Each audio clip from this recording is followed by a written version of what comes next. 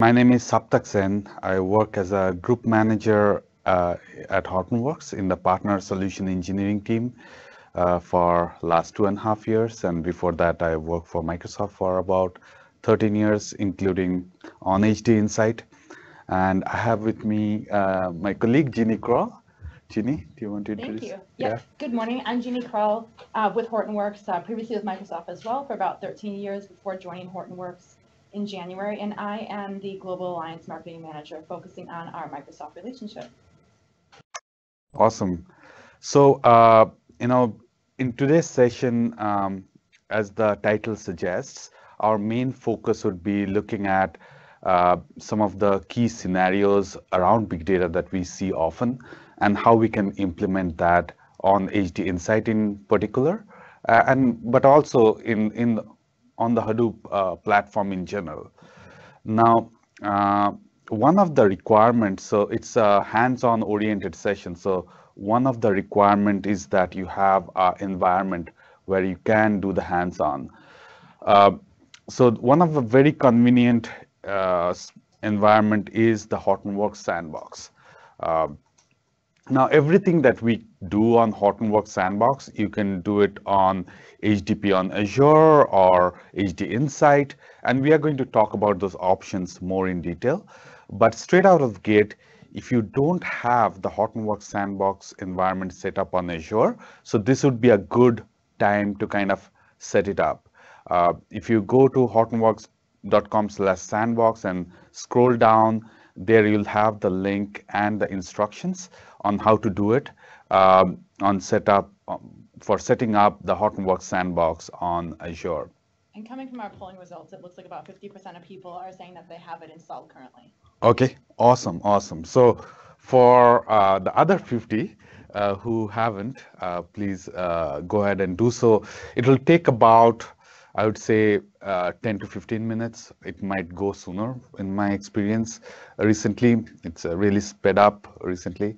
Uh, so that way we will be ready by the time I'm finished with my presentation part of it. You'll be ready with the environment and, uh, and move along. So the next section, next thing that you need are the instructions for the hands-on lab, obviously. So uh, we have put it up on this link again. So if you go to this link, uh, it's a Word document. So obviously you need uh, Microsoft Word to open it. Or if you don't have Microsoft Word, at least get Microsoft Word Viewer and that should be able to open it as well.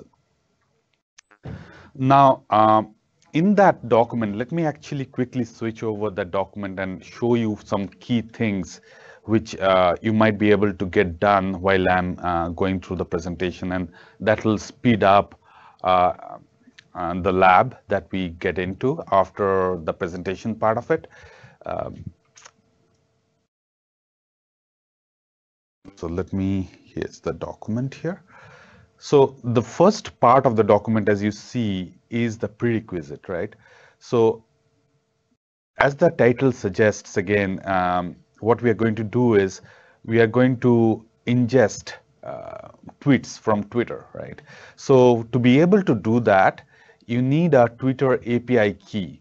So in the document, you'll see there's a link and in that link, you'll have instructions how to get a Twitter API key if you don't have one. Uh, and, and the other thing is once you set up the sandbox, it should look something like this. Uh, it should look something like this, right? So uh, you'll have an IP address for your sandbox and which you can get from the Azure portal. So in my case, here I have set up my uh, virtual machine, which is uh, the Hortonworks sandbox. And when I click on it, I see the IP address. And um, I can copy this IP address here. I can copy it here. And when I go to uh, the port 8888, I see this screen. You might not see the bottom part of it. You have to click this uh, big orange button, closed or open advanced options in your case, to see all these details. Uh, and from there, you'll see a link here, which which will give uh, let you kind of SSH in. Uh, so um, here, if, if I click on that, uh, I get a screen like this and then I can log in. So one of the things to remember while setting up your Azure Sandbox is the username password that you give uh, while setting it up. It's very important to you know note it down uh, because I have uh, done similar sessions before where attendees um, uh, promptly forget the username password and obviously you'll need that username password to log in so make sure you uh, note it down now let me get back to the uh, instructions here a few of the other things so once you kind of SSH in by the way uh, if you are on Windows and if you want to SSH in from an external client another great external client is PuTTY so you can download PuTTY from putty.org. And again, you can use that um, to SSH in. But uh, in my opinion, uh, the built-in SSH client, web-based SSH client is convenient enough for today's lab. Okay, let me point out some of the other parts of the uh, uh instructions which you can do in parallel as I get into the presentation part of it. So the next section is uh, setting or resetting the Ambari admin password. Now this is important to do uh, because we want um, all users to have unique passwords for Ambari because if we kind of uh, preset a password, it will quickly get hacked, especially if it's on the cloud. So you would want to kind of reset this password and restart Ambari so that way you can get access to Ambari following this instruction. And then there is this little script uh, that you uh, run from the SSH prompt, which will optimize the memory configuration on your sandbox. Uh, remember, I keep referring um, to the sandbox. Sandbox is essentially a one node cluster uh, running on a single VM so that it it's not using a lot of resources on Azure, so it's uh, uh, pretty lightweight that way. And uh, but you'll have to have the right settings for your memory for the various services running on that sandbox, so that it kind of uh, the lab goes smoothly. So uh, running this uh, script will make sure you have the right configuration. And this going through the script or the script roughly takes almost about 10 to 12 minutes to run. So you want to kind of get it started so that by the time I finish the presentation part of it, we can move on to the more interesting parts of this lab. Now with that, uh, getting back to the presentation, uh, do we have any uh, any questions in the meantime about the setup or the prerequisite part of it while we switch to the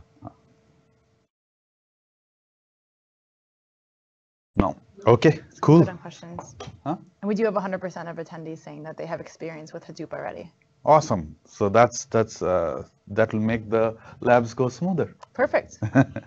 so uh, in case you didn't know, so since all of you have used Hadoop, I think you know about us, but a little bit uh, in case you don't. Uh, so we are a 100% open source company. So every line of code that we write or develop uh, we put it out in the open source, and um, uh, that is by design. Um, we want the collaboration uh, and the contribution from everyone, including your company, including people like Microsoft, Facebook, LinkedIn, uh, and and and work with them to accelerate all these projects that we are working on. Um, we were founded a few years back in 2011 we were actually uh, carved out of Yahoo. So this is the team in Yahoo which created Hadoop in the first place.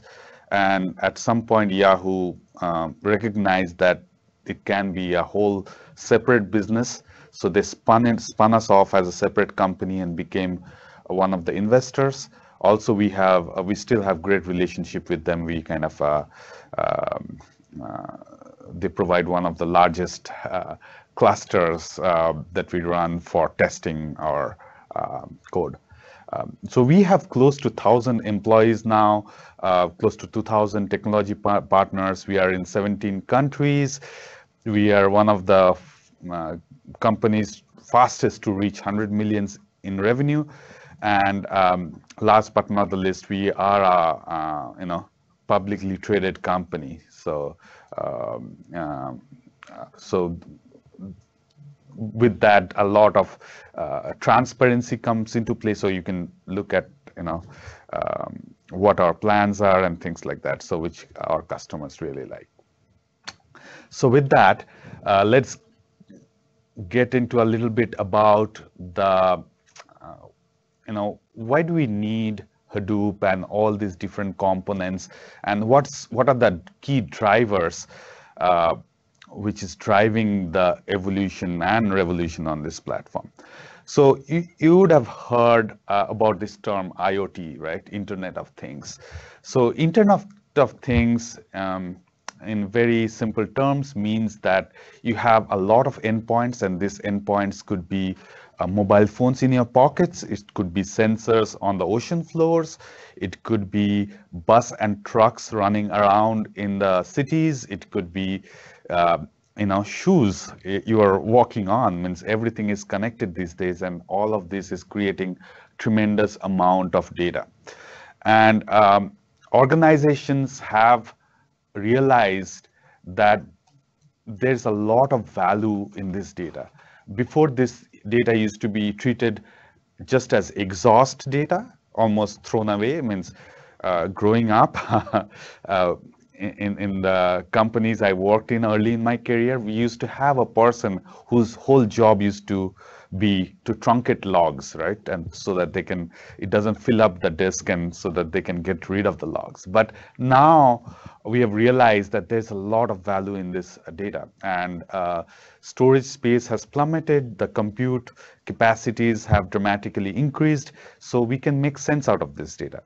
Now, one of the things uh, that we have to keep in, keep uh, in mind around this data is that because this data is being generated at such a phenomenal rate, we need to be able to, uh, you know, be manage the ingest of this data and and as well as store and process. So that's where our two lines of products that we have, HDF, which is the Hortonworks data flow, and HDP, which is the Hortonworks data platform, comes into play, right?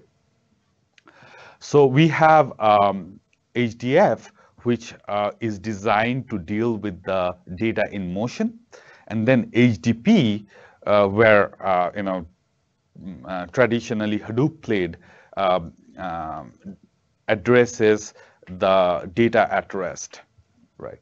So once the data arrives, how do you uh, process it? How do you make sense out of it, of it? How do you extract the intelligence out of it, right? Now, here are some of the very common use cases. Uh, you have real-time service, cyber cybersecurity. Um, they are they care about um, protecting systems like uh, routers or other systems, or uh, or they want to do threat detection. There are smart manufacturing. Uh, who wants to uh, improve the yields, um, connected and autonomous cars. Obviously, there's they are in a lot of news these days.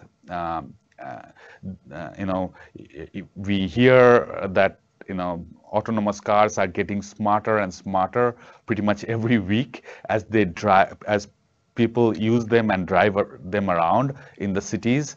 Uh, all that information and data is being collected back and analyzed, and that's making the cars just smarter. Uh, you know, future farming means even um, at home, I have these little sensors which automatically turn uh, on my sprinklers depending on the moisture level uh, in the ground. So things like that. But even at a larger scale for farming, um, there are many other uh, sensors which can be used like uh, the alkalinity or the acidity in the soil, right? And, and, and many such uh, data can be consumed and um, be used to better the yields of farming. Of course, all of us have used uh, recommendation engines. Uh, anytime we go to Amazon or Netflix or you name it, uh, we or even do search on Bing or Google, uh, we are uh, being uh, kind of using various types of recommendation engine, which is throwing us results which we we care about. Now, all this kind of scenarios can be supported by platforms which addresses both data in motion and data at rest. And um, uh, from Hortonworks, we provide you all the components required to address all these various scenarios. Now let's kind of uh, dive uh, dive in a little bit into uh, uh, the newer scenario, which is data in motion, right? So traditionally, when we think about data in motion, we think that we only ingest data. That is, data is just flowing in, and uh, which is not always the case. I'll give you an example. Uh, I used to work with uh, on a project with uh, United States Geological Survey, and uh, they had this uh, little sensors that they give out to many homes in California. And these sensors are of the size of a cigarette pack, and they would strap on a pole, something you know uh, stable in their garages and things like that, and that would pick up very uh, even faint seismic uh, data or you know, vibrations from the ground and send it back to a central server for analysis, right? Uh, and their whole goal was to be able to predict, uh, you know, seismic activity, big seismic activity, right? But soon they find out once they started this pilot was uh, they were getting a lot of false alerts because as trucks were rolling by uh, during commute hours or whatnot, they would get this false alerts as if there's a, you know, it's an incoming uh, earthquake. So they had to send back, so they had a machine learning model which learned about or which predicted the thresholds, right thresholds to use at various points in time and send that data back into the sensors themselves so that they didn't trigger local alarms or false alarms, right? So data needs to flow in a bidirectional way. Uh, you and across various kind of networks. At that time, it was several years back, uh, they used the GPRS networks. They didn't have high-speed uh, 3G or 4G network to send this data in they used uh, you know super low tech GPRS networks to send this data in. So uh, so you, you can imagine as we have all these sensors and endpoints and um, you know edge processing um, units uh, thrown around all over the world, we cannot be assured of the bandwidth, about the latency, about uh, intermittent connectivity and things like that. So we need uh, data flow infrastructure which can deal with all of this. And HDF is designed to, uh, to, to be able to do that. So to go a little bit, uh, you know, more in more details as to what HDF was designed for. Uh, and, and before I go into it, let me give you a little bit of the history. Now, HDF is also commonly known as Apache NiFi. And uh, the word NiFi, if you expand it out, it means Niagara files. So this was a technology which was developed at NSA, uh, National Security Agency, and they have been using it for close to eight or nine years. So it's a, uh, although it's a new thing to the enterprise or newer technology to the enterprise, but uh, NSA has been using it for uh, several years, so it's uh, it's very mature. So the where it came from was they wanted to uh, map out various data flows across all their organizations, and they're a, a, very big organization, and they have various um, uh, you know rules and regulations that they need to abide by, right? So uh, they obviously don't want to be in possession of data that they are not legally allowed to. So they have to make sure that they can filter out those data irrespective of where it is and and they want to also make sure that uh, sensitive data are not being accessed by inadvertently or maliciously being accessed by people who shouldn't be accessing and things like that, right? So it was very difficult for them to be able to uh, deal with this complexity of data flow uh, without a better system. So they started off mapping all this out on a Visio worksheet and soon the Visio worksheet got very complex. And of course, the Visio worksheet had no connect direct connectivity to the actual implementation, right? In a week, the Visio worksheet would go obsolete and it no longer reflected the reality. Uh, so they developed this technology where um, it looked like a visual worksheet, but they can actually command and control the workflow and look at the audit and the provenance of the data from this uh, UI. So it's a very visual user, it has a very visual user interface. And it provides uh, immediate feedback. So if you think that something that's a data flow needs to be tweaked, uh, you need to be able to tweak it then and there without having to stop uh, the, all the service and, and so on, and, and change the data flow right there and see the results and even um, uh, simulate data flows and see, uh, you know, for historic data flows, you want to change certain values and see how it flows now and things like that. It needs to be adaptive to volume and bandwidth. For example, in any kind of data flow, a very common um, problem is back pressure, right? So you have a certain processing capacity. But when the data coming in is at a larger rate than you can process, it, the queue gets longer and longer. So the back pressure builds up. At that point, you need to be able to automatically decide by through rules and uh, you know thresholds as to what you want to do about it. You can, you know, skip to the latest data, or you can um, uh, signal to, uh, you know, the sender of the data saying, hey, stop, slow down, you know, I can't um, process so much data and things like that. So all these kind of capabilities are built in.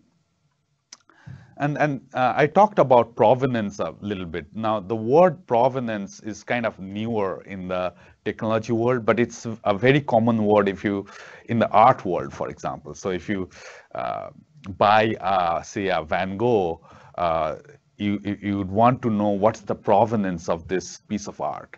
Uh, what that means is that not only when and where uh, the artist created this piece of art, but who owned, was it restored, who even touched, where was it displayed. So all that uh, data, all that information is very, very important.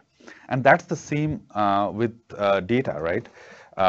You, you, need to be able to know all that.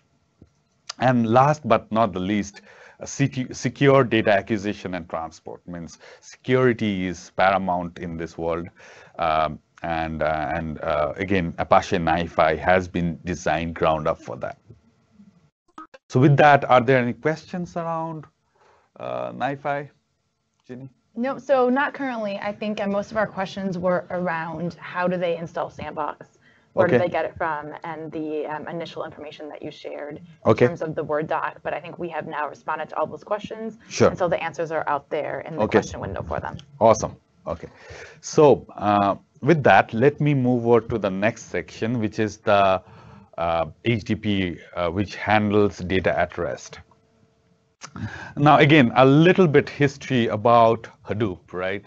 Most of you know about it, but Hadoop was designed as a platform for um, uh, processing a lot of data in a batch mode pretty inexpensively. Uh, so it uh, stemmed from uh, this whole project, the Hadoop project stemmed from a paper that um, Google wrote around um, around MapReduce and um, Google file system, right, which is a distributed file system. Now, obviously, like Google, Yahoo, Microsoft, and many other internet companies, they had the same requirements. Uh, they needed to process a lot of data. Uh, in some in some cases, they wanted to build search indexes uh, relatively inexpensively. If they had to use, you know, uh, very expensive hardware, uh, they couldn't kind of keep up with the cost. Neither could they scale. Means the amount of data that they needed to process just were not suitable for uh, you know traditional proprietary data platforms available at that time. So um, that's where this project came from. So uh, MapReduce and HDFS were the first generation of Hadoop, but soon um, as enterprises started adopting um, uh, Hadoop platform for various other needs, people started building and demanding other capabilities. Other capabilities like being able to do interactive query over this platform means it's great that we have a distributed storage where we can store, you know, not just terabytes of data, but petabytes of data. That's great. But I want to run interactive queries, right? I want to do machine learning. Uh, I want to do search. I want to do real time. Now, to be able to do that on the same platform, we needed a way to do more efficient resource management, right? And from the beginning of our company, one of the visions was to build that uh, uh, almost the data operating system, which we call Yarn, which provides this uh, resource management, um, being able to securely um, uh, apply policies around how those resources are allocated, uh, support multi-tenancy and so on. And as it became the data operating system supporting all these various workloads, uh, especially in the enterprise, uh, demanded a way to be able to govern all that data in a unified way, to be able to secure all this data in a unified way, to be able to manage it like you, you would manage other enterprise uh, infrastructure. And that's where we have invested a lot to make that possible. Uh, we, we, will talk about various projects like, for example, around security, we uh, now have Apache Ranger um, and Apache Knox. Uh, Apache Ranger provides a granular security across all these workloads, whether you're trying to secure HBase or Hive or um, you know Solr, you can do it all from uh, Apache Ranger. Uh, uh, um, a gateway level security with Apache Knox, right? Uh, Ambari, which you'll uh, soon see and use uh, in this in, in the labs, uh, provides you a unified way to manage, monitor, deploy all these resources, all all these capabilities um, in in a unified way. we have Atlas and Falcon, which helps you do governance over data, again, irrespective of whatever your, your application characteristics are, uh, you can govern your data using uh, Atlas and Falcon. And again, uh, we also designed this whole platform for deployment choice. So uh, Hortonworks data platform lets you deploy um, Hadoop and the and the entire platform, not just on uh, where you'd expect, like you know, Lin various versions of Linux like CentOS, Red Hat, SUSE, Ubuntu, but also Windows, also uh, AWS, Azure, um, uh, Google Cloud, you, you, name it. So right, uh, but of course today we are going to specifically look at um, you know, the, the awesome integration we have with Azure. Now, uh, uh, you, you've heard of all these various projects, right? All these various projects uh, serve various purposes. Uh, which traditional enterprise applications require. It's not necessary that you use all these different projects in a single application. But you have it's it's like a you know a buffet, right? You pick and choose what you want to have, uh, depending on what your scenarios and your requirements are. Now, what we do is uh, we provide a supported uh, package and distribution of all these various projects so that you know that once you get this uh, distribution from Hortonworks, all these various pieces are tested to work with each other. And to back it up, we also provide, Hortonworks provides the support required uh, to make sure um, in case you have any questions or if you have any issues or even need guidance, uh, we are there to help.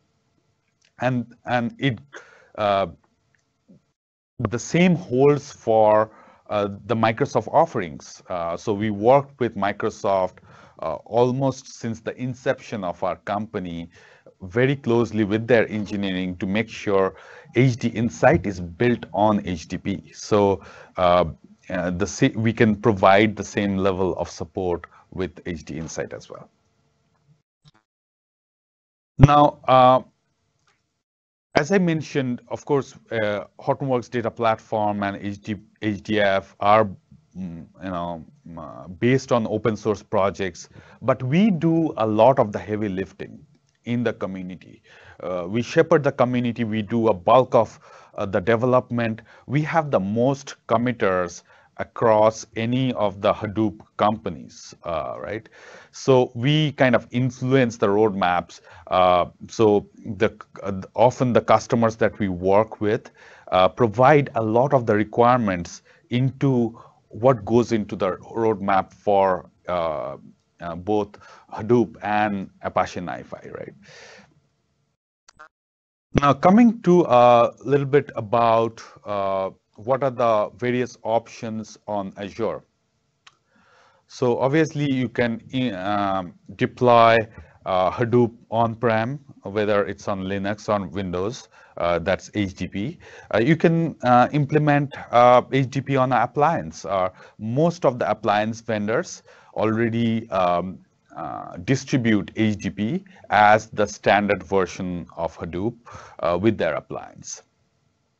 But on the cloud side also, uh, we provide uh, uh, HDP as a IaaS offering. For example, uh, we have um, HDP uh, on Azure, which is our IaaS offering. But we also provide Hadoop as a service offering, like Microsoft HDInsight. You can also deploy um, Hadoop on a virtualized uh, environment like VMware, Docker, OpenStack, and we support all of those. Um, any questions so far? Nope, I think we're good.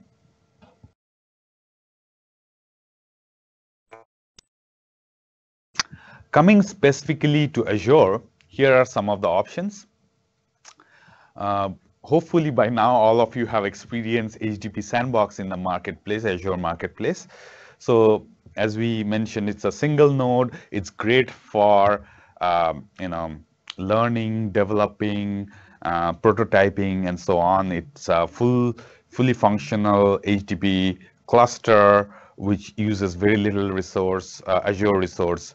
Uh, um, by the way, you can also download the VM from Hortonworks website on your local machine if you need to, but most people prefer it to just uh, run it on Azure. It's very convenient. Um, and then, of course, uh, we have uh, HDP Azure on IaaS, which is which people typically use for production um, or even you know the next level of prototyping where you actually have multi-node cluster on Azure which uh, resembles much more closely what you would see in production um, and uh, uh, you know it can connect to blob storage uh, and you get all the benefits of uh, as that you'd get running HDP on-prem. So a lot of our customers who use who already run HDP on-prem, if they want identical environment on Azure, uh, this would be the way to go, right? The third option is HDInsight, which is, as we uh, already mentioned, is a PaaS offering, a platform as a service offering, right? But it has the same bits as HDP. So if you have an application which works on HDP, it's pretty much certain to work on HDInsight. But it makes it even simpler to scale, to deploy, to manage on Azure. It, has the ad additional benefit of Microsoft doing that level of engineering and automation to integrate with, say, uh, Blob Store as well as Azure Data Lake. So uh, these are some of the uh, benefits of HDInsight. And last but not the least, we have um, uh, uh, um, means of deploying HDP uh, on any cloud of your choice, including Azure, right? you can um, uh, it's called Cloudbreak. You can access it from launch.hortonworks.com and you can uh, deploy Hadoop on any cloud platform of your choice, right? Now let's get into a little bit uh, into some of the common use cases, right?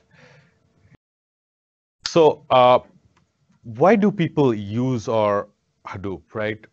the, one of the most common uses of Hadoop is um, archive. Uh, so data of uh, enterprise data warehouse. Typically, enterprise data warehouse uh, platform um, uh, or, or, the demand on enterprise data warehouse is increasing at a tremendous rate.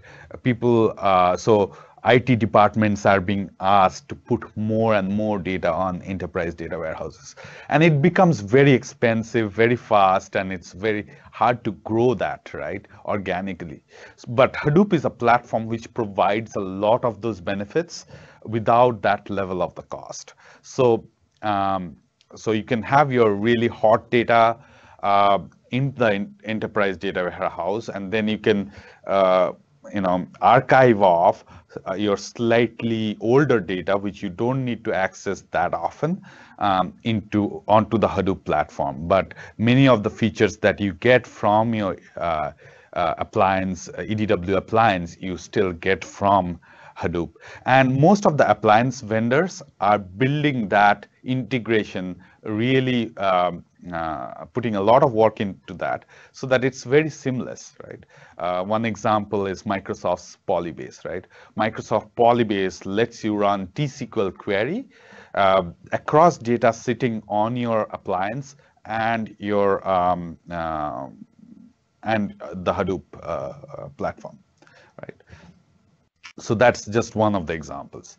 Um, so uh, the next example is onboarding costly ETL process. Now, we have had ETL platforms for a long time, right?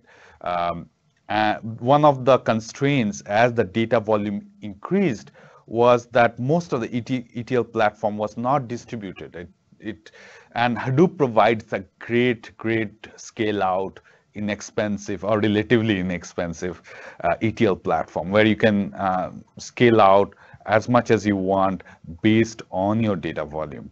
So that's again a very, very common use case. The third use case is enriching the value of your enterprise data warehouse, right? So you, ha you have to deal with this new kinds of data which you traditionally didn't have to deal with uh, in your enterprise data warehouse like log data.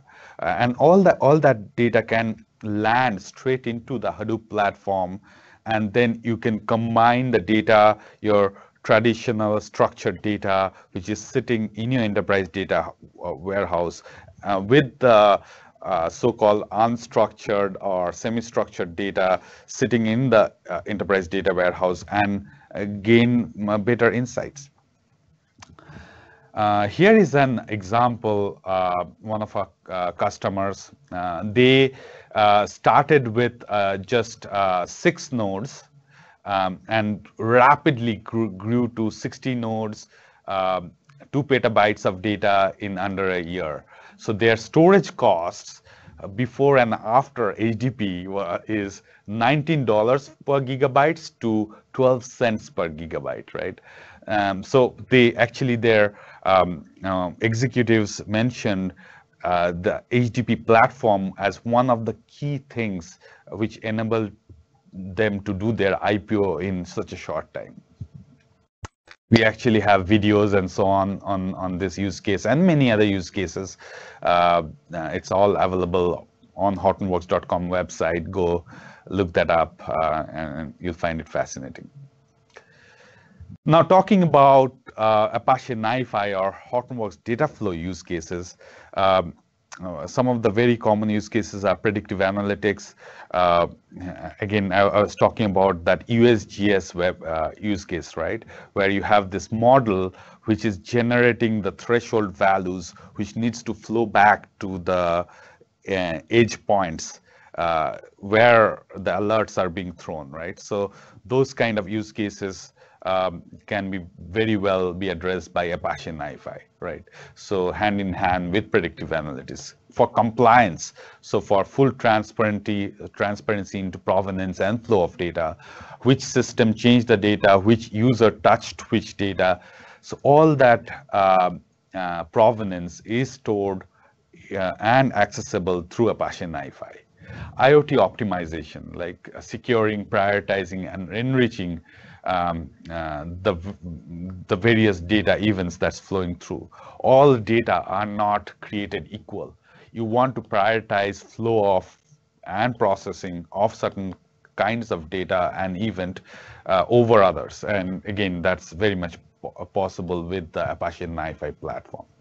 Fraud detection. Um, uh, again, uh, this is a very common use cases use case in uh, insurance and other financial services uh, industries. A big data ingest, right? Uh, so, I was talking with one of our um, um, you know consulting guys, and he says, you know, uh, before HDF, 80% of his time was spent into figuring out how to get the data into the Hadoop platform. Once it was on the Hadoop platform, it's relatively easy to you know extract insight from it. But just to get all this data from all the systems uh, flowing into very uh, flowing in various rates how to get that in. So again apache nifi squarely addresses those kind of use cases right? Um, and of course value resources. Uh, as data kind of flows in and you store you are utilizing resources to be able to do that. And often you want to know what's the value of these various types of data and how you should uh, prioritize your investment um, on, on, these various types of data. Um, and uh, you, you, use Apache NiFi to do them, to be able to do that. Uh, last but not least, a very common use case is uh, log optimization, often terms in conjunction with uh, Splunk. Now, Splunk is a great platform for doing log, log analytics, but the cost of using Splunk uh, very quickly um, increases to you know dramatic levels uh, as the data size increases obviously and that's where HDP can complement that and HDF can let you prioritize what what data goes into Splunk and what data goes into HDP for analytics right and that many of our customers use this kind of scenario uh, to uh, dramatically um, cut down their Splunk licensing cost. So um, again, um, you know, diving in a little bit on Yarn, and I, I, mentioned some of this already before, so I'm going to go quickly over this. Um, uh, so, you know, we started with Hadoop, with MapReduce, but we have come far. It, be, it has become a platform which can support various workloads, provide all the enterprise capabilities like security, gov governance, um, manageability, and so on. So, and Yarn is the kind of the epicenter uh, of this, uh, uh, you know, uh, of this platform which enables all this. So it uh, enables multi-tenancy, better utilization, uh, you know, uh, integration with other vendors. Uh, just to prove this means uh, uh, when I was at Microsoft, I was in the uh, Windows HPC team, and we used to try to get customers to adopt really large clusters so that obviously we can, uh, you know, claim that as evidence that our software can run on uh, large cluster.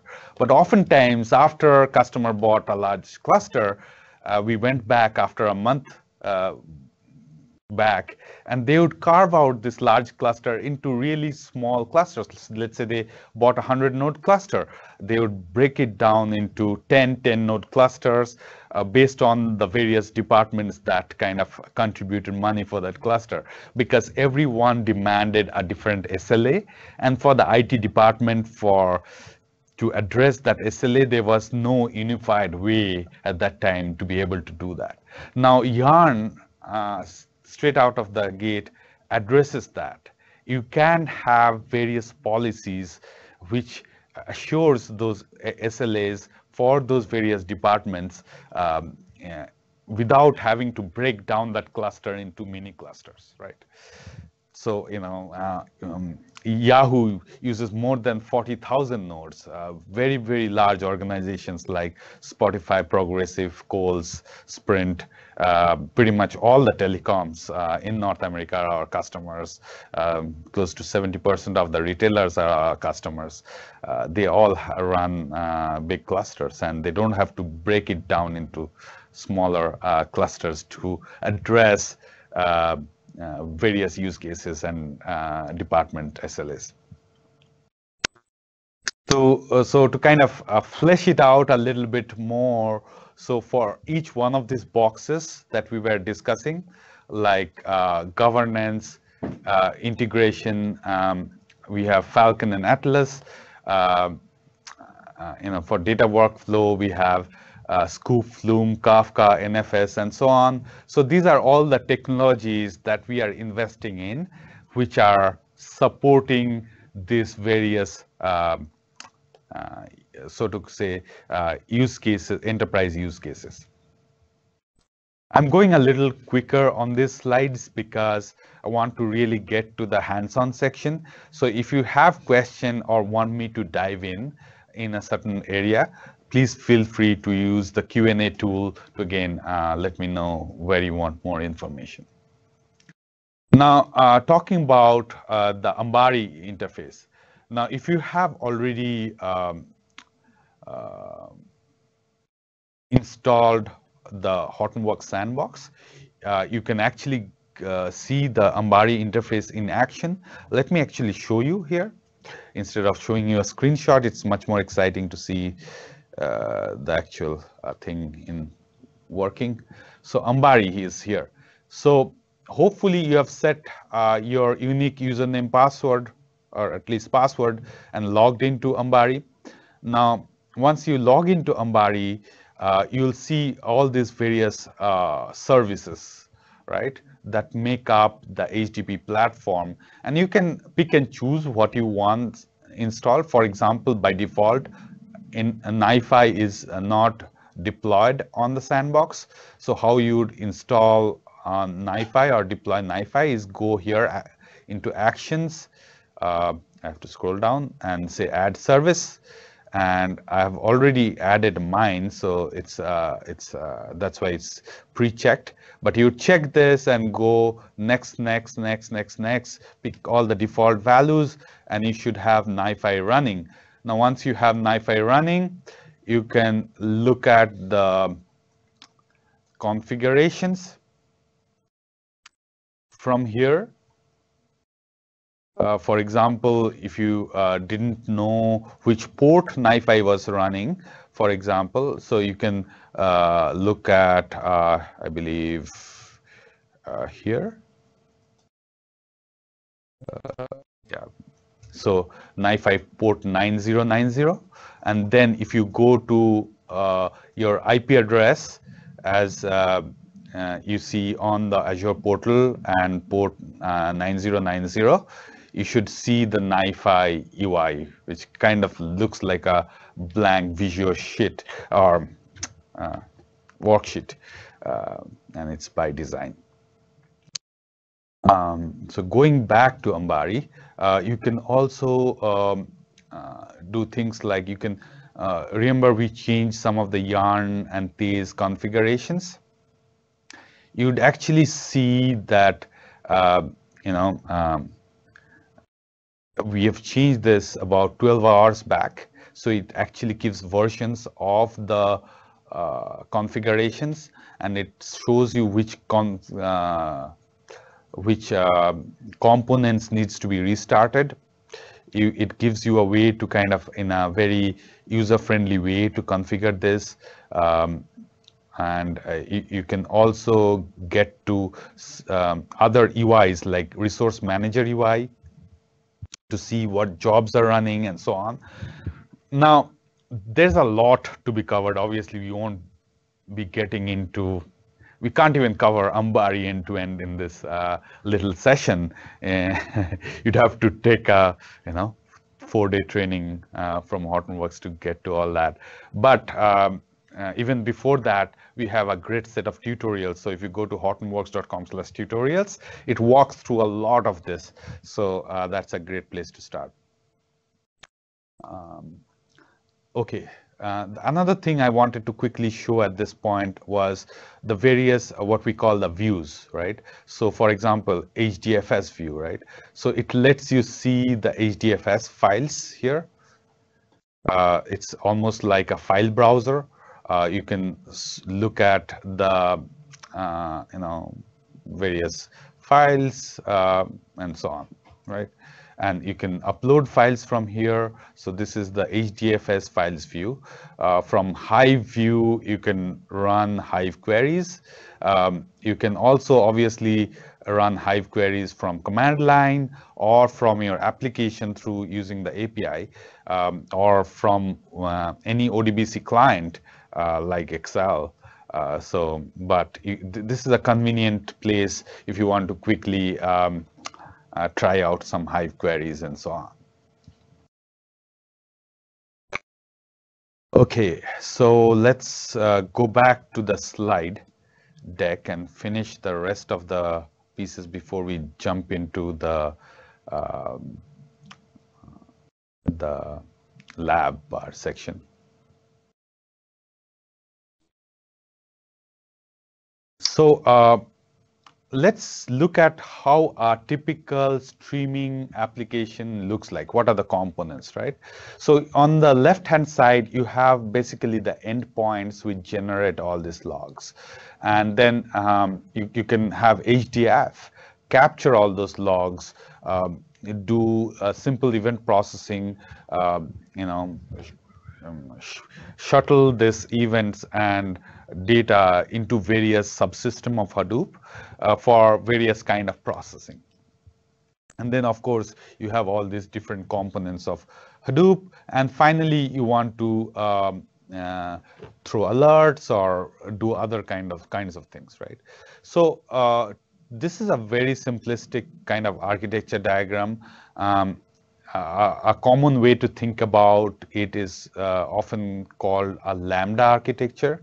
Um, so lambda architecture uh, is a is breaks down all the various components into three layers: the batch layer, the serving layer, and the speed layer.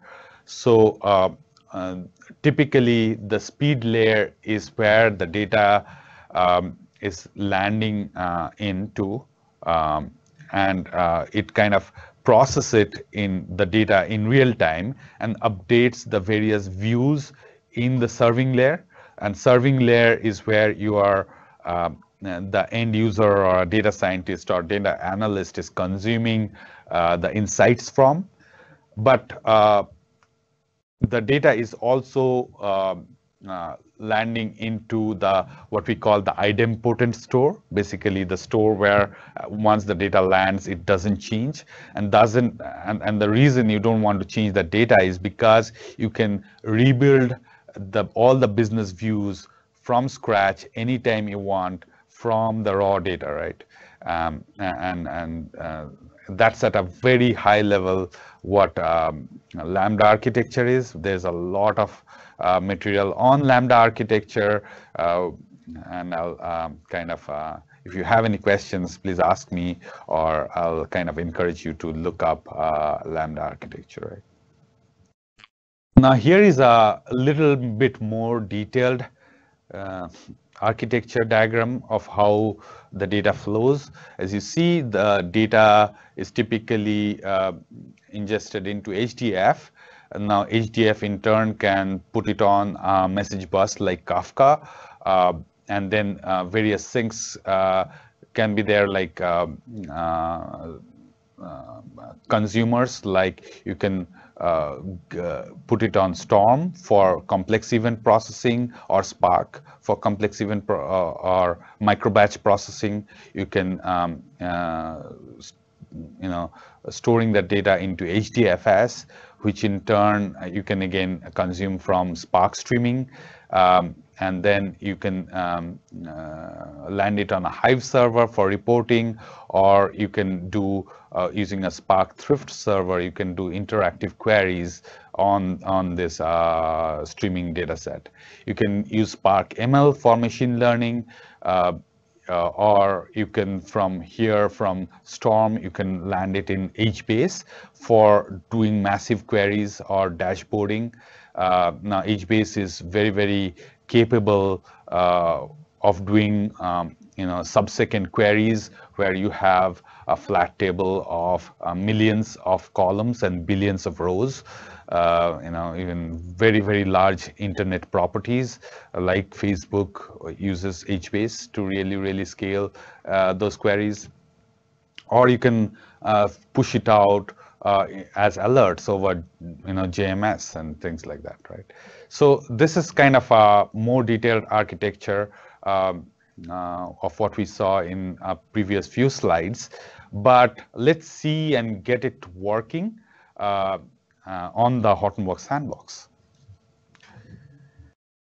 Any questions so far? Any problems you faced so far um, on uh, following uh, the prerequisites uh, for the lab?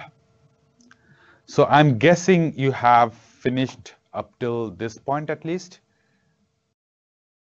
And then you have also finished uh, adding NiFi, which I have had done last night uh, for myself. Um, so that's why I have uh, NiFi installed. A way to test that your NiFi uh, is configured and working is uh, obviously to go to this uh, particular port uh, on your IP address. And again, to remind you, you can look at the look up your IP address here.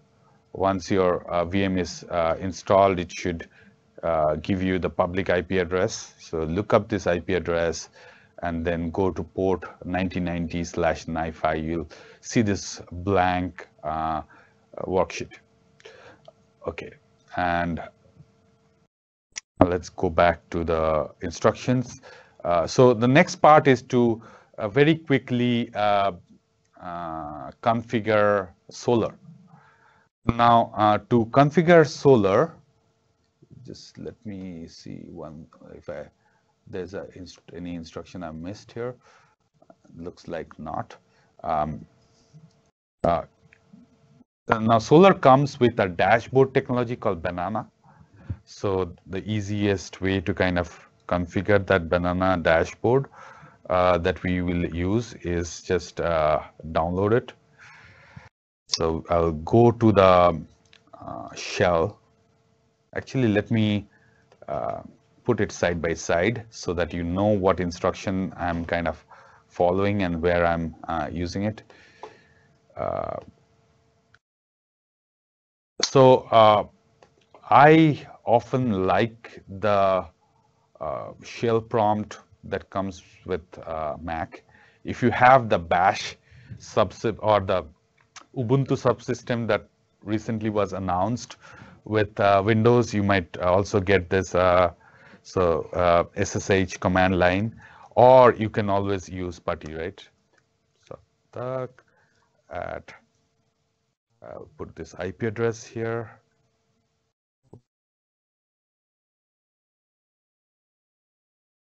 copy paste is always kind of copy. There you go. Let me actually also dock this here on this side. So I'll paste this, take out the HTTP part of it. So in this case, the Saptak part is my username that I had provided while deploying the sandbox. And, and then this is the public IP which Azure gave me. And I say yes. And then I put in the password. So this is where uh, you put the password that you kind of. So now I'm uh, logged in. Now once I'm logged in, I can um, go become uh, promote myself as a root. So you see the instruction here. So sudo su hyphen, and I'll have to again put my password for my user. So now I'm root and I CDM in the root. Uh, okay, now at this point, I, I can run this bash script. I can set the admin password and so on. I, am guessing you have already done that. Uh, I can also uh, download this uh, dashboard. So copy, paste. Okay, so, and I also download the Solr configuration.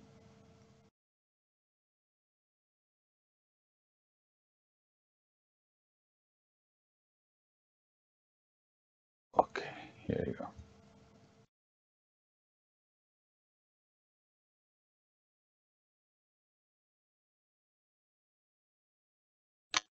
Now I've got both of those. Now the next step is very, very important. Now there is uh, the Java home on sandbox is incorrectly set. So it's very important that you actually set the Java home correctly. So this line will uh, help you do that. Uh, so the export command. So at this point, your Java home should be set correctly. Um, and then some of uh, the attendees in past sessions, they uh, often get it malformed and then none of the other things work anymore. So uh, be very careful about this part of it. And at this point, you should be able to start um, uh, Solr. So it says started Solr on port 8, 8983 happy searching. So yeah, happy indeed. And at this point, I can create uh, some topics on Solr. So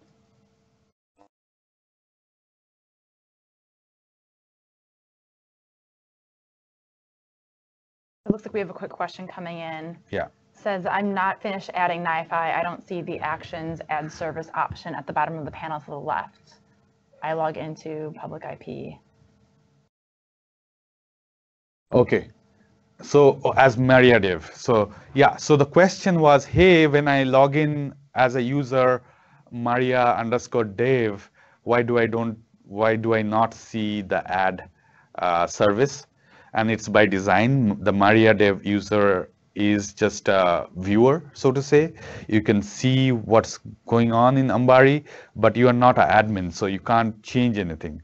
So you would have to, uh, you know, here, if you go up into this instruction, uh, here you log into the shell prom or secure shell SSH and set the admin password. And then you'll have to log into Ambari using admin as the user and the password that you just set as Ambari admin password. So when you run this script, it will ask for ask you for a new password and that's the password you need to use to log in. And once you log in as an admin on the admin on Ambari, uh, then you'll see the add service. So hopefully that kind of addresses uh, the issue you're facing. Uh, let me know if it doesn't. It should. Okay. So moving on. Um, so uh, I'll create the, uh, you know, the Solr collection for the tweets.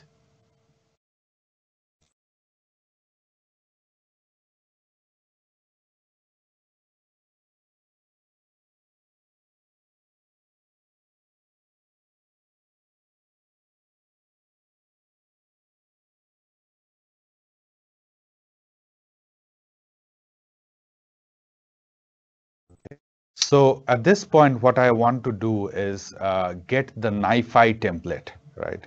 So NiFi template, uh, here is what you can do. You can copy this and basically you want to kind of save it as a XML file into your uh, guest operating system.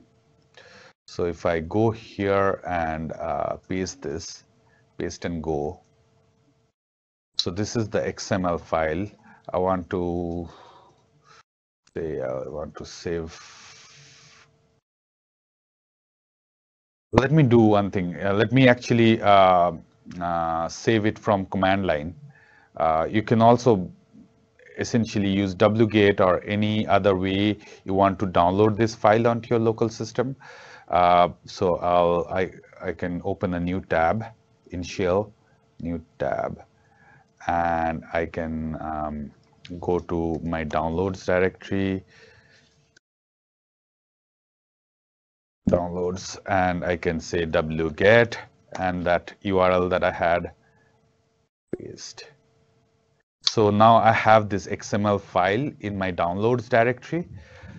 Now, if you have uh, NiFi already set up, what you can do here is uh, you can go to NiFi, you can go here NiFi templates, you can you see it's kind of empty. I can browse and I can um, uh, basically pick this up because I ha already had um, uh, Twitter dashboard.xml. That's why it's kind of uh, you know give saved it as dot point one. So just be careful what name it's being saved as. Let me see if it works this way and say import. So yeah, so it doesn't matter what the extension is, it imports correctly. So it should show up like this, right? Now, uh, before I go any further, here is the thing about this. So in data flow, you have all these processors. So the key thing that you need to think in terms of is this processors. Now, this processors uh, lets you do various things. For example, uh, it lets you read from the file system, right? So if I search for file, uh, it will say get file. So this is one of the processors. So if I say add, it will put this on this, you know, blank Visio sheet. Now, if I say configure, you'll see all the properties as to what's the input directory, uh, what I what kind of files I want, and things like that. Now let's say I say okay slash tmp is my is my directory that I want to read from. I'm just kind of showing you how to use uh, uh, NiFi before getting into a much more complex uh, data flow, which we will use soon enough.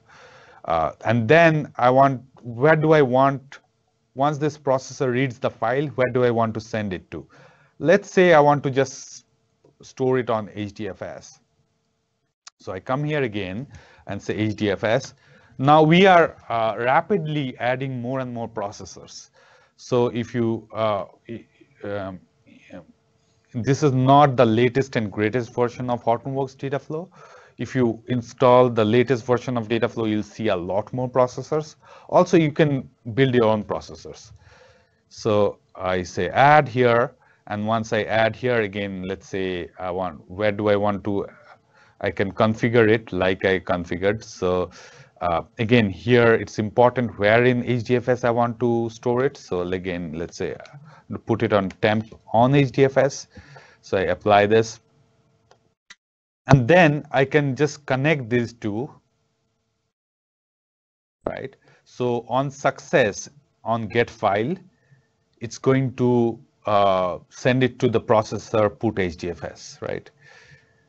So at this point, you see this little red icons here, and this one still uh, is kind of, um, you know, um, showing uh, uh, that I haven't done something. So I can go back and say, uh, okay, um, auto terminate uh, on um, failure or success, uh, or actually on failure and success, let's say. Yeah. So basically from here, I don't want to go anywhere else. Uh, it's it's the kind of the uh, end point or end of the flow. So at this point, if I click here and say play, it's going to start watching for files in the temp directory. And as I drop new files, it's going to put it into HDFS, right? So that's the simplest kind of data flow you can have. But let's say I want to kind of um, delete this, clean this up. Uh, okay. Uh,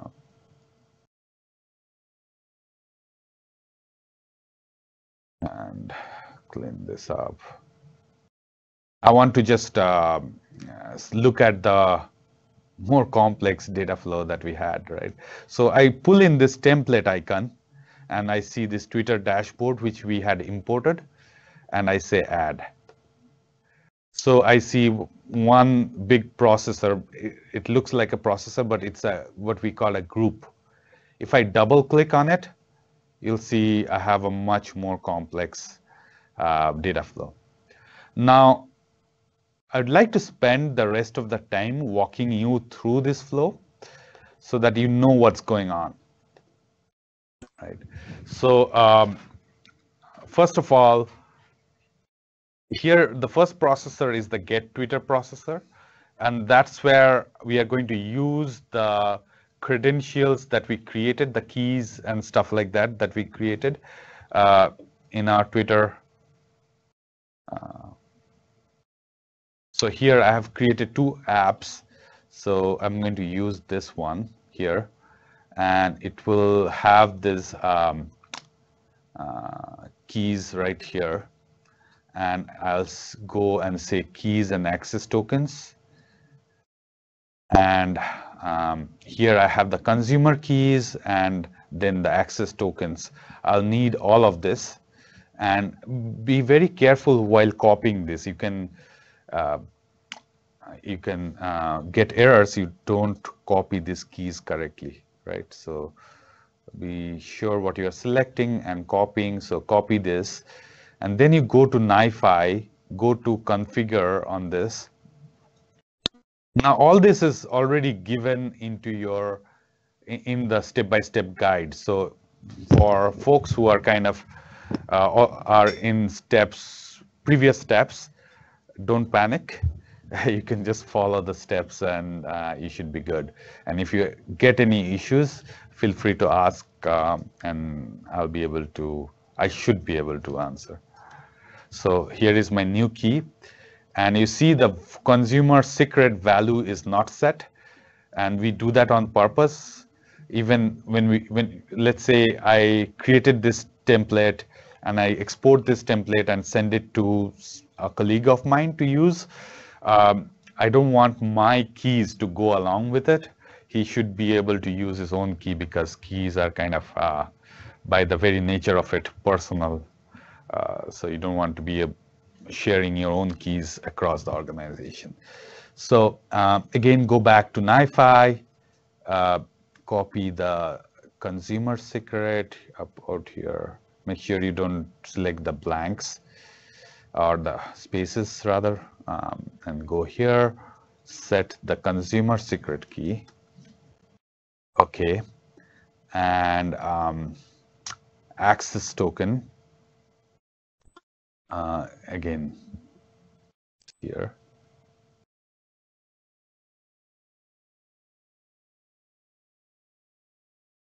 And I go here, uh, access token, I delete this and paste my new one and the access token secret.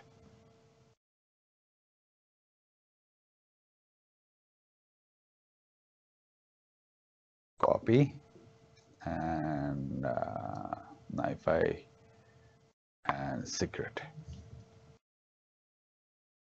Okay, so at this point, uh, this particular processor is ready to go. So if I say apply, you'll see that this little icon changes from this uh, warning symbol, the yellow triangle with the exclamation point, to uh, solid red.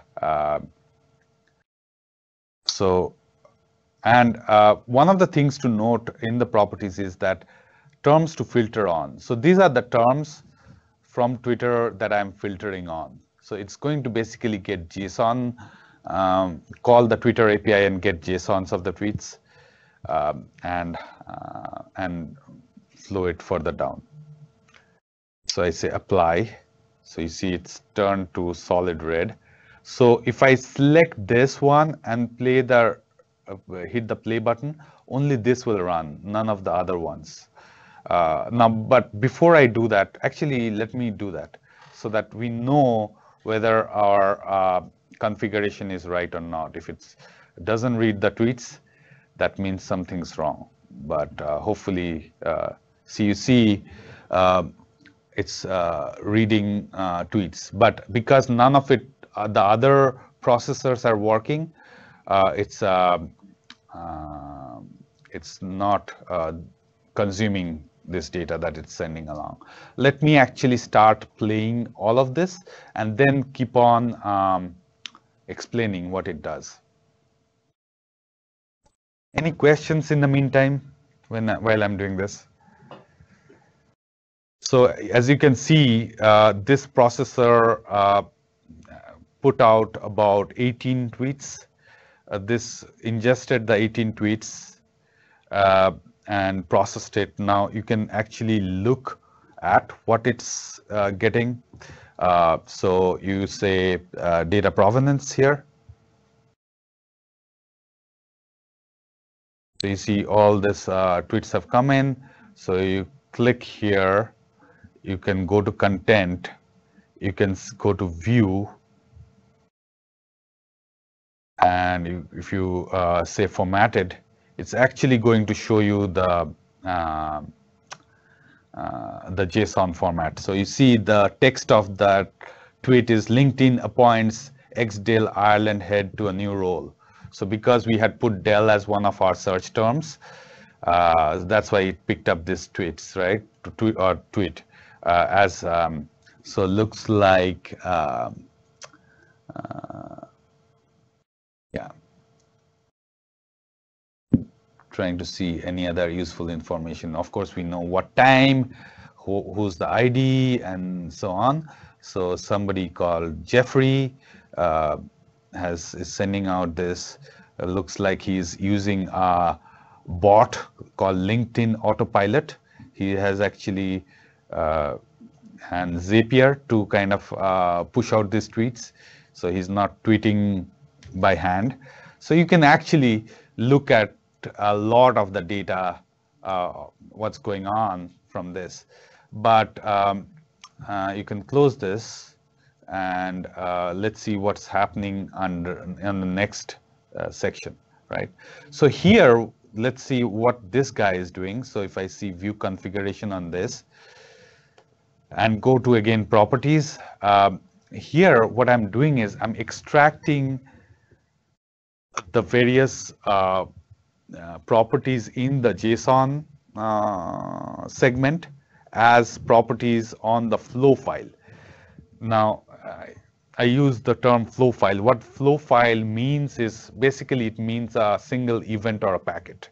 So on that packet, you can put various properties. It's like an envelope. You can think of flow file as an envelope, and on the envelope, you have all these properties like name, address, blah, blah, blah.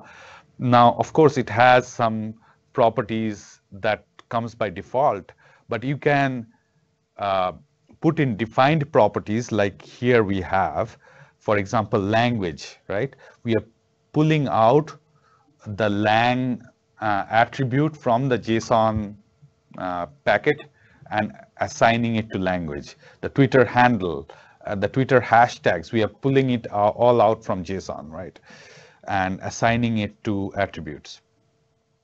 And, um, and let's see uh, what's uh, going on here. Uh, let's uh, see the provenance on this one. So for it's a one-to-one -one mapping for every tweet that has been read. Uh, I have a, hmm, another flow file, but on this flow file, we will have um, some additional attributes. So here uh, we will have uh, additional attributes uh, for the uh, various attributes that we have uh, set. Only if I can find from this. So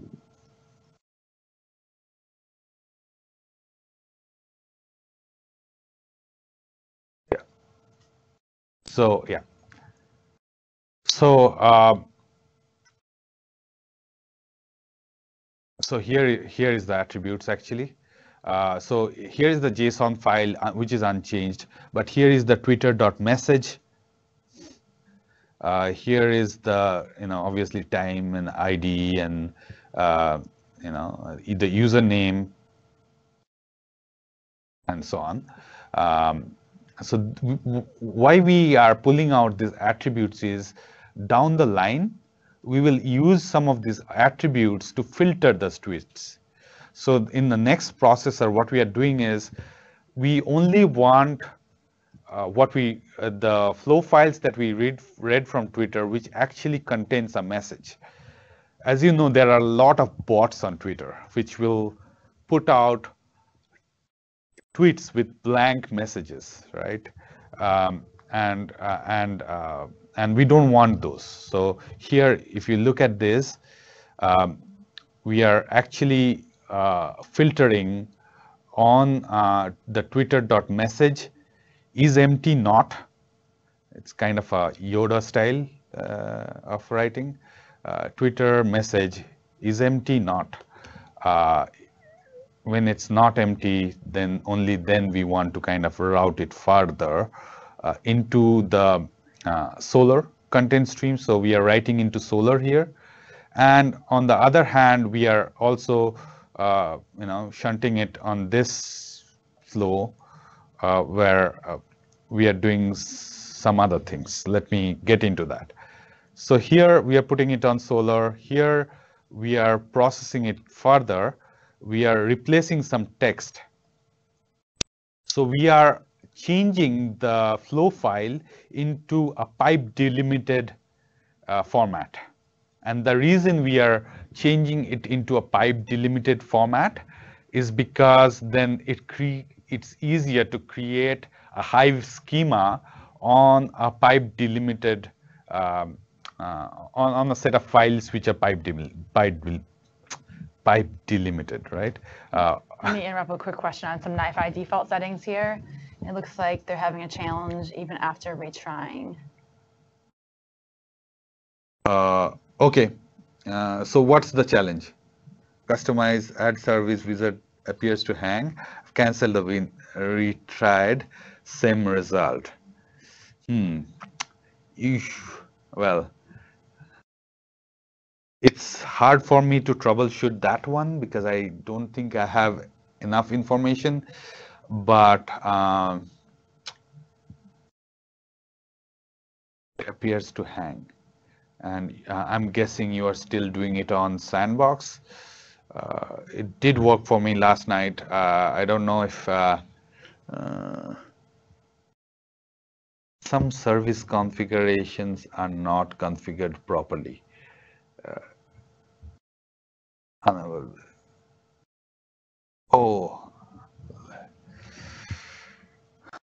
let's see.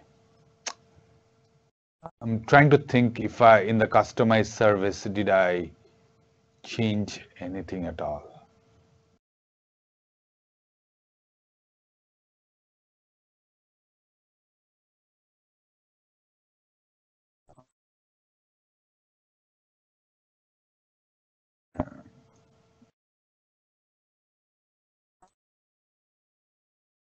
Yeah, I don't think I changed anything at all. So it, it should have, uh, eh, okay, let me know if others are also having the same issue or is it kind of a, uh, you know, one-off, um, you know, configuration issue.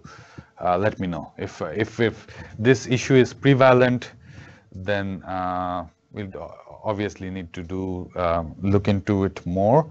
But if it's just a one-off, uh, one one way to do it is just uh, I know it'll it's time consuming, but uh, you know blow off the uh, sandbox, recreate the sandbox. That way you get a you know uh, start from a known state.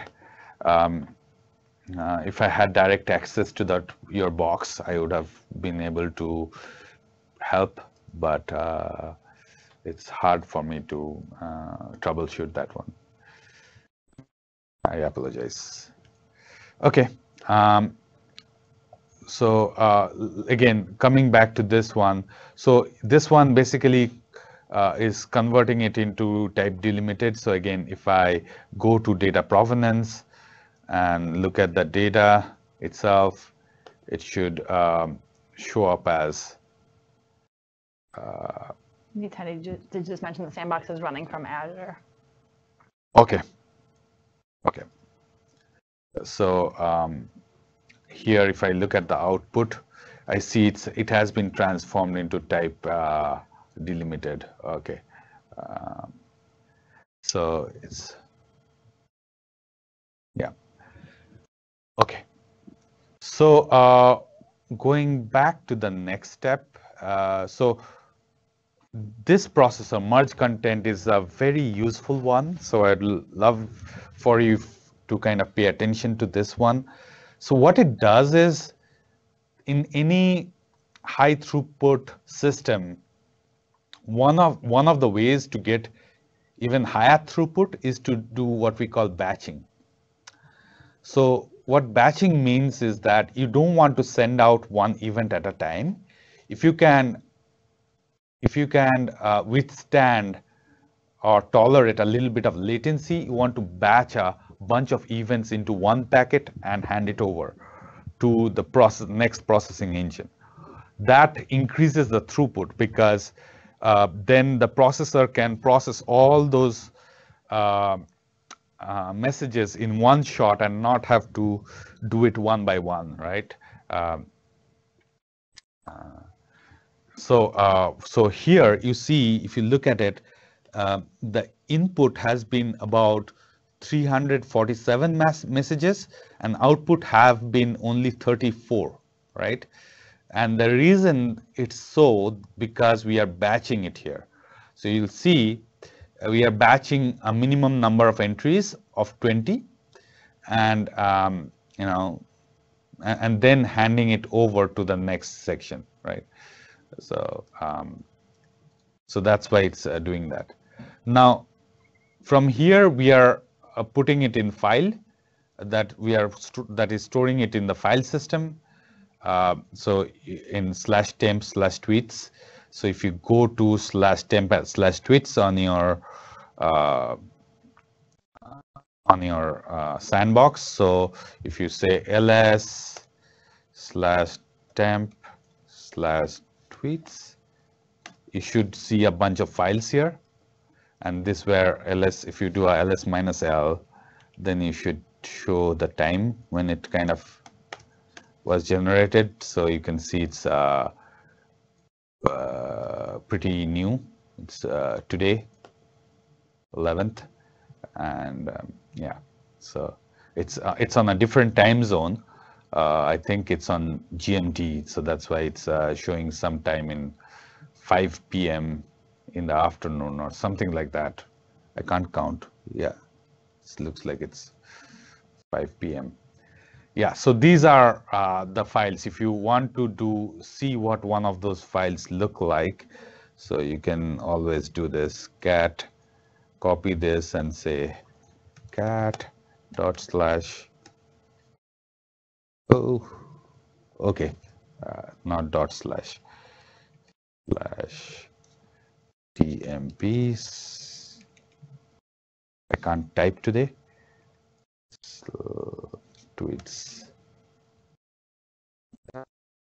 So you can see these are the files uh, which has the uh, both the type limited delimited data and the JSON itself.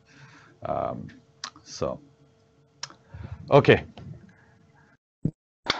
I do this, keep doing this on the plane and people freak out. So, um, so here, uh, this this one, this particular processor put HDFS. Uh, it does uh, it does a similar thing. It puts it on HDFS, but it also um, is is uh, configured to handle failure. Typically, HDFS is a remote subsystem. It's not connected to the same box where HDFS, uh, you know, physically connected. So there might be network failure or whatnot. So what this connection says is that it's going to retry. So if you look at the view um, configuration, uh, uh, it it, uh, uh it, will uh, retry, and we have number of retries um, configured, and um, otherwise it will store it in the uh, slash temp slash tweet staging on HDFS. And the way it knows how to connect to a particular HD, HDFS instance is by reading this core site.xml, which you should get from your HDFS admin. Um, so you can look at the prop view configuration on this one. And if you look at the settings, uh, you'll see whether it has any back pressures or not um, and it's it's only when it's failing will it be used and so on. So with that, let's go and see on um, on uh, HDFS if our files are coming in. So we saw in slash TMP slash tweet staging. So again, you see all these files uh, have uh, been generated. Now at this point, uh, remember it was also going to Solr here. So let's see if uh, anything landed on Solr or not. So um, I'll go back to my instructions and um, wait to and look up what's the port for the Solr um, dashboard. Copy and 40 this is my NiFi file. Let's see if NiFi comes up or is it our okay. I might have given the wrong IP first let me paste this one and then I'll go back and get my uh, IP for my uh, current cluster sandbox. Copy, go back here, back here, put a colon here, and let's see if my dashboard comes up.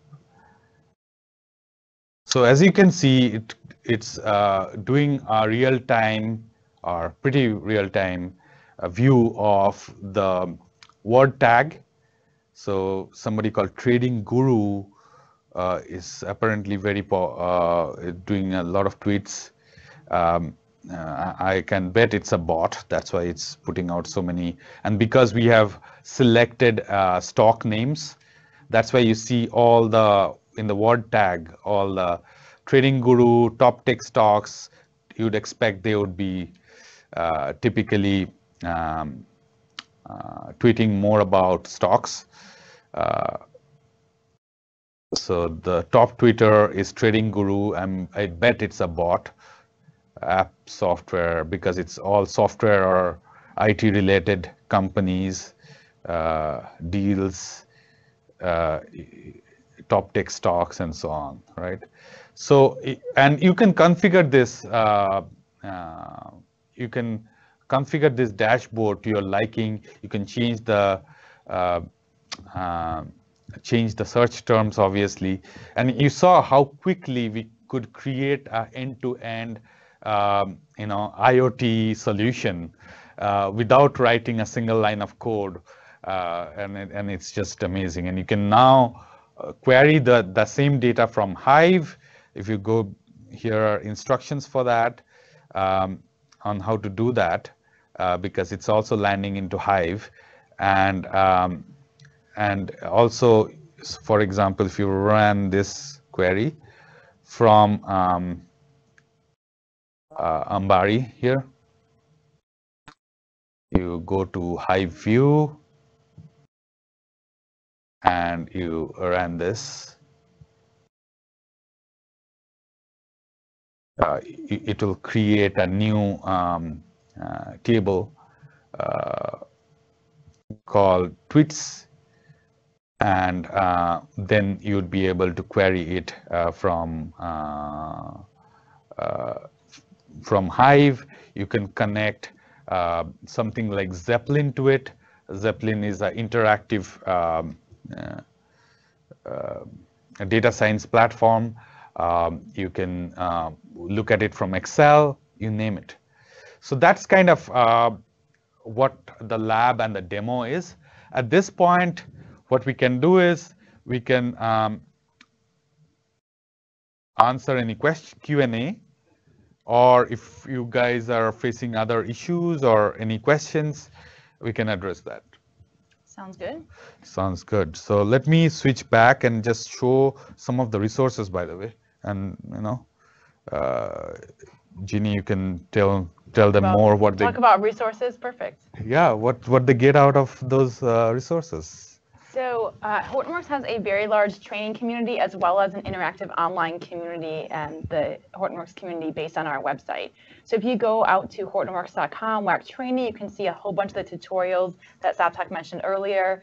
Um, if you go out there to hortonworks.com WAC community, there's actually um, a large community comprised of many, like I believe it's over 4,000 registered users out there, um, people bringing their Hadoop questions um, as well as other Apache product questions to that community. Um, it's very open. A lot of our engineers participate there as well. So if you have any questions or concerns, you're welcome to post them there. And then if you're interested in learning more about the Hortonworks Data Platform and Hortonworks Data Flow, so HDP and HDF, that we talked about today, feel free to sign up for a uh, use case workshop and you can send us a note as you're at hortonworks.com and we will get you set up uh, with your local team that can help do that on site for you as well. Awesome. So on the question front then, so first yeah. question is, can you tell us a little bit about what the difference between HDP and HDInsight is? Okay, that's actually an awesome question. Um, and the difference is, uh, the good news is the difference is very little. Uh, it's, it's HD Insight is built on HDP. So all the different pieces or most of the different pieces that you saw today, like Ambari, like all the different services, you still get with HDInsight, right? But it is offered as a software as a service uh, offering from Microsoft. So Microsoft has tested it, done additional testing on HDP, and they are willing to kind of back it up with their support. And they even have agreements with us for tier 3 support. So we also back it up on top of Microsoft. Uh, so if you are a HDInsight customer in case you have questions queries issues we kind of uh, back you up on that. And um, and you know talking about um, you know just to tie it to uh, Hortonworks community connection that you talked about let me show you. Means uh, if you have questions on um, even HDInsight or HDP, if you go to community.hortonworks.com, that's the direct URL. Uh, if I can spell community correctly. and uh, and you, you can ask questions. So if you even if you have question about HDInsight, you can ask here. So here all this all the committers and um, uh, you can see there are so many questions uh, on HDInsight. Uh, of course, there are various uh, things about H HDP and HDF. For example, if you go to Code Hub, uh, there are um, uh, you know various NiFi processors for say OpenCV. Um, these are some NiFi templates, clients. Uh, so there, it's it's a treasure trove of cool stuff i call it. And uh, and you can ask any questions. If if that question hasn't been already been asked if you ask a question most likely you'll get an answer very quickly because all the all our engineers and committers are just hanging out uh, there and interacting with uh, all the users. So um, yeah hopefully i that was a long way of answering your question but uh, yeah hopefully i answered it Perfect. Okay. Okay. So next question for you then that we have. I'm hearing so much about Spark in the big data community today. Can you talk about how Spark works with HDP? Absolutely. So, yeah, Spark is an extremely important component of HDP. So we have committers on Spark, and we are actively uh, working on uh, making Spark better um, on various fronts, right? So we already work really hard to make sure uh, Spark can share resources on a Yarn cluster.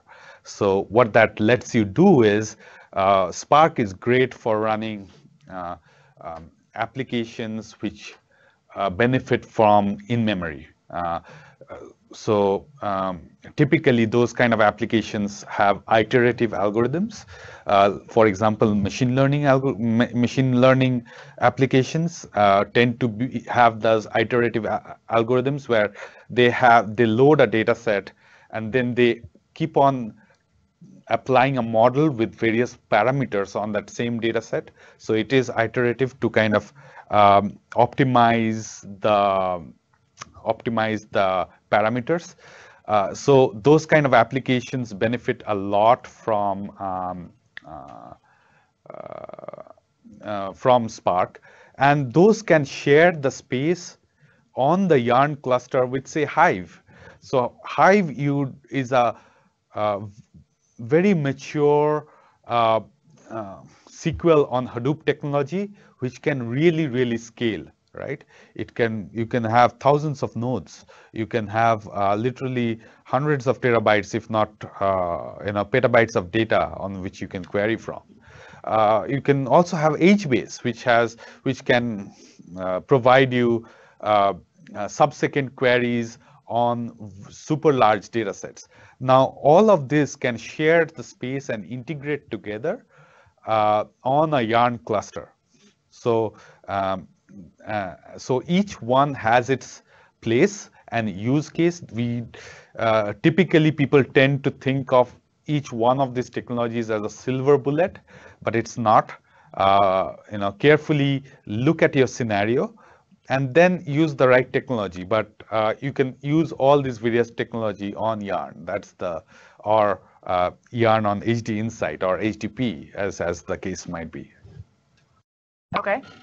Thank you. So next question, you talked a little bit about Polybase earlier. Yes. And with the general availability of SQL Server 2016 coming up on June 1st, can you expand a little bit on that as a lot of the customers out there have um, a lot of SQL familiarity in their businesses? Yeah, um, that's again an excellent question. And uh, again, Polybase is supported with HDP either on-prem or on the cloud.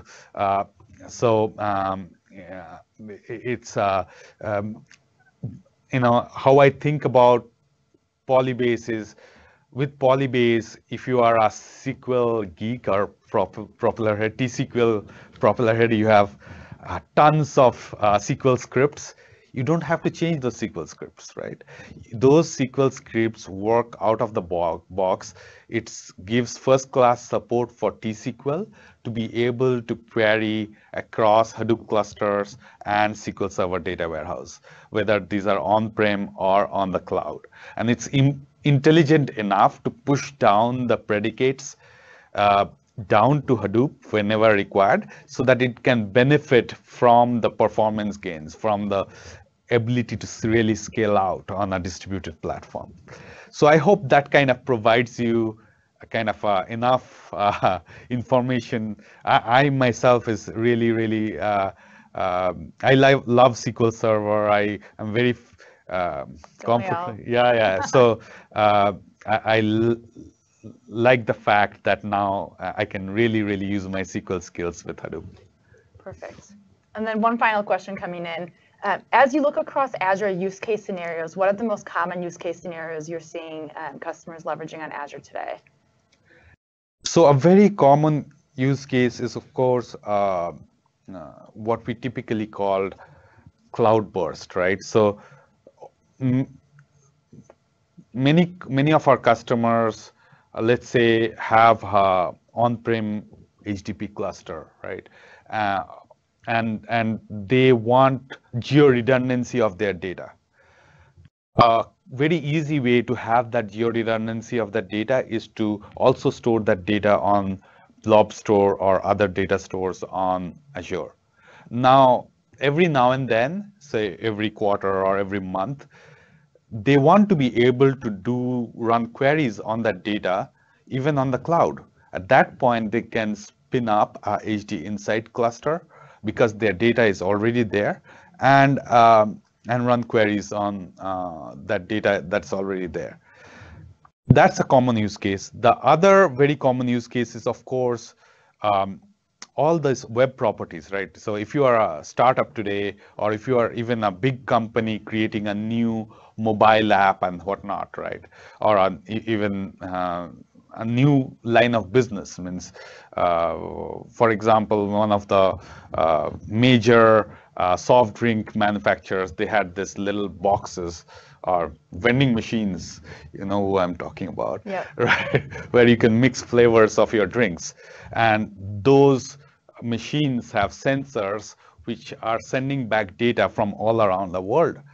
A natural place to process and do data analytics on that kind of data is in the cloud because their machines are in every McDonald in the United States and uh, various places um, across the world. And so they need to go, you know, bring that data up in the cloud and be able to be able to process that. So that's another very common use case. IoT, that's why IoT is such a common use case, whether it's your mobile apps, whether it's other kind of sensors, it makes sense to process that data on the HDInsight or HDP platform on the cloud. Great, thanks so much. So that concludes uh, all the questions that we currently have. Thanks for joining us today.